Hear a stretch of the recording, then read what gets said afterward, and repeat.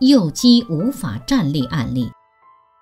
二零一七年十月二十四日上午，突然发现家中一只幼鸡一脚拖地，无法伸直站立。我家这小鸡崽儿啊，早上起来都不会动了，就像这样式儿似的。这腿儿哈，抻筋了，这是。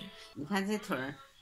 应用原始点理论，帮幼鸡按推上背部两腿跟内侧两腿膝关节原始点，发现都有痛点。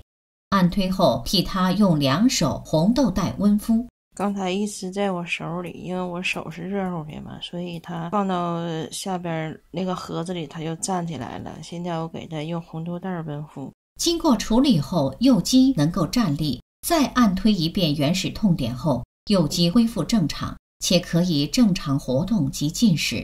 从发病到恢复正常，仅用了十数分钟。感恩张医师，是原始点正确的方法，解除了右肌的病症。